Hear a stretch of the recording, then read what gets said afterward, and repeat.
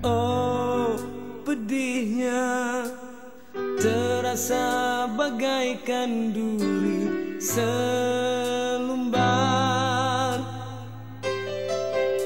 Menikam di hati